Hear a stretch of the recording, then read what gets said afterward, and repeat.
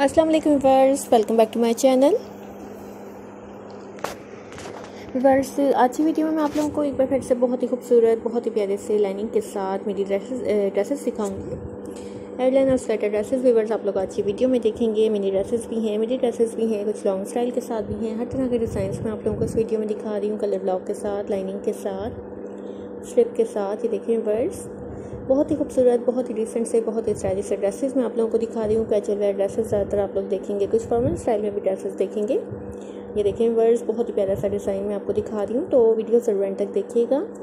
और अगर आप लोगों ने अब तक हमारा चैनल सब्सक्राइब नहीं किया है तो प्लीज़ हमारे चैनल को ज़रूर सब्सक्राइब करें। हमारी वीडियोज़ को लाइक और शेयर भी करें और बेल आइकन पर लाजमी क्लिक करें, ताकि आपको हमारी हर नई आने वाली वीडियो की अपडेट मिलती रहे नोटिफिकेशन मिलते रहें और हमारी हर वीडियो आप तक पहुँच सके।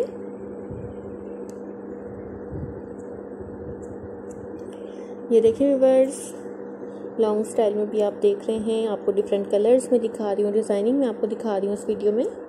हाई वेस्ट के साथ भी कुछ ड्रेसेस हैं स्लिम स्टाइल के साथ भी कुछ ड्रेसेस हैं ऑफ़िस वेयर ड्रेसेस भी हैं स्प्लिट स्टाइल ड्रेसेस भी हैं कैजुअल वेयर ड्रेसेस भी हैं और फॉर्मल ड्रेसेस भी हैं।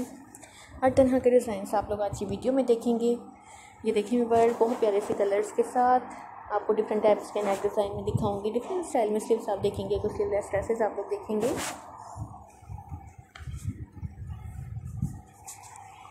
ये देखें बेल डिटेलिंग के साथ।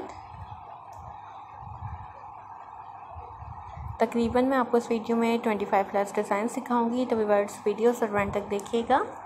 और अगर आप लोगों को मेरी वीडियो पसंद आए तो ज़रूर लाइक कीजिएगा और मुझे ज़रूर कमेंट्स पे कीजिएगा। मुझे ज़रूर बताइएगा कि आप लोगों को मेरी वीडियो कैसी लगी। मुझे आप लोगों के कमेंट्स का इंतज़ार रहेगा।